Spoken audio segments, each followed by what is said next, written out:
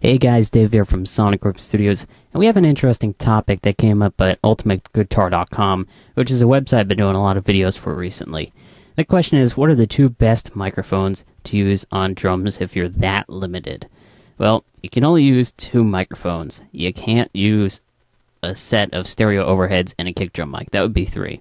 So I said, well, I've got this project here. We recorded all the tracks at the college for my final project for the DGIM Digital Media 116 class. We have a fully mic'd drum set. We have, of course, if we look at our mixer, a kick drum with the kick on the front, not on the bat on the uh, the batter head, but on the resonant head. We have a uh, snare mic'd up with a Shure SM57. The mic is on the top, of course. We have a mic on the toms, which are three of them, and we have a spaced pair of small diaphragm condensers on the overhead for left and right. They're on their own tracks, so we could try to mono one out and uh, see how they sound with just two microphones. So let's start out with just hearing. I got a sample here. Um, it's set to loop. If I jump into the right view here, we have the section here where we have the kick, we have the snare, we have a, a tom roll, and we have all the overheads as well as a crash in there too. So let's play that a few times and see how it sounds.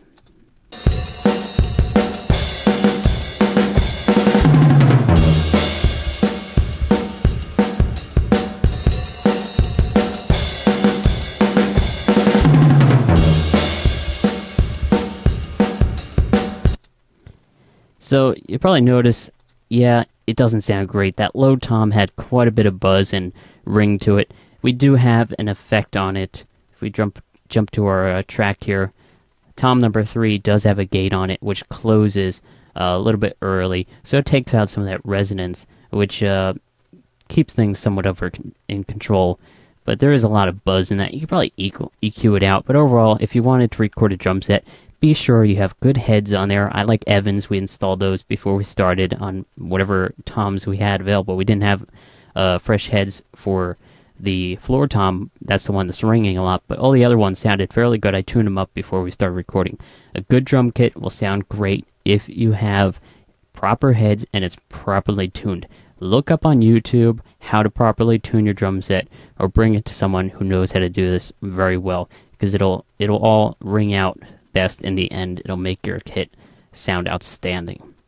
So we have the full kit. That's how it sounded with all the mics on. So let's say we wanted to do just the overheads. Let's mic everything, or let's mute everything else here, including the kick. So we just have the spaced pair of overheads. These are two microphones. We're going to try some dual microphone techniques, see what we can get out of the best sound. So here it is, small diaphragm condensers overhead.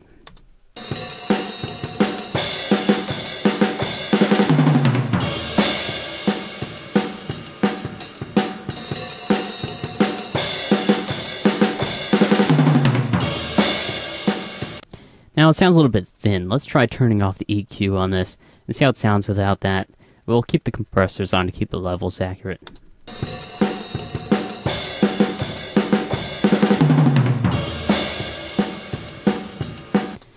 See, it doesn't sound half bad with just the overheads. However, let's say we wanted to really capture the bass drum, which wasn't really standing out. We're going to turn off the EQ on all of these as well, just to keep it nice and flat. We're going to keep the gates and compressors on all these as well, though, uh, just to keep the levels under control so we don't peak or anything like that.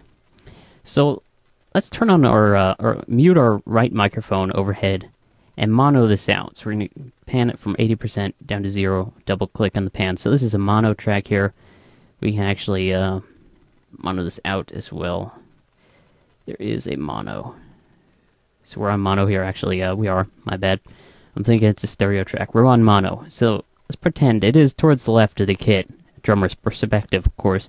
If We're going to mono it out, and we're also going to unmute the kick drum microphone. Now let's see how this sounds. It's going to give us more of that low end punch.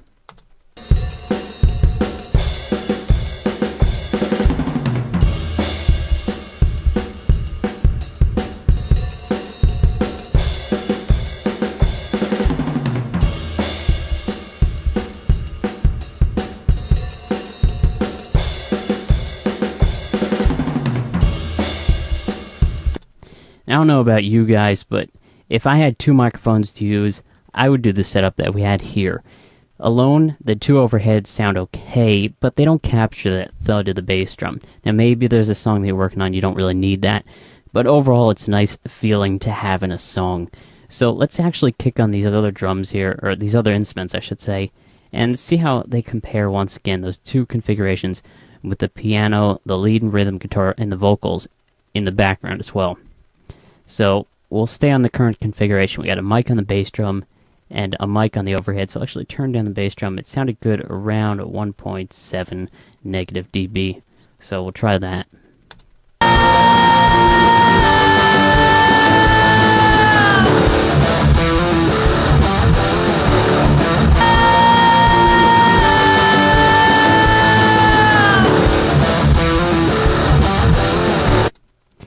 So you'll notice you will have to turn up the bass drum and uh, remix everything. You notice everything else is overpowering a little bit, simply because uh, we have we have this set up to mix with all these different mic up toms and everything. It sounds much more full and comes out in the mix when you have all these different mics on the kit. So let's turn off that bass drum again and turn on the overheads, both of these again. Pan this one back to 80 left and keep everything muted. We're going to actually uh, the second time around, I'll mute the vocal track because it seems to overpower a lot. Let's see how this sounds.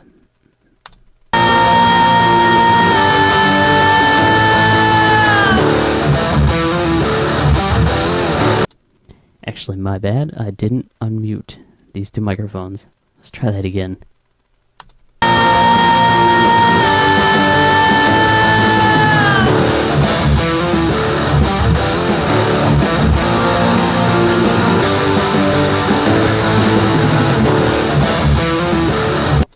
So as you can hear, you get the tom rolls, you get the uh, the overhead of the cymbals and all that.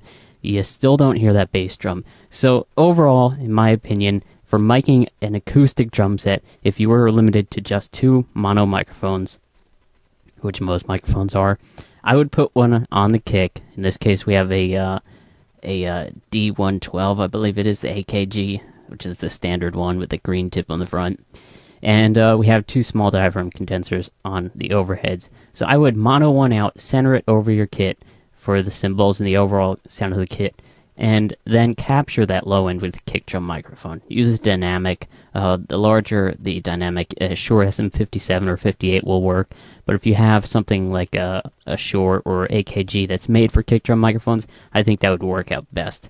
So with that said, guys, I'm going to wrap up this video. This has been a, a little comparison on how to use your limited microphones and uh, make your kit sound as best you can with those two microphones.